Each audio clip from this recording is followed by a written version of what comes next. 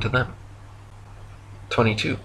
If Earth were truly constantly spinning eastward at over a thousand miles per hour, during the Red Bull stratosphere dive, Felix Baumgartner, spending three hours ascending over New Mexico, should have landed 2,500 miles west into the Pacific Ocean, but instead landed a few dozen miles east of the takeoff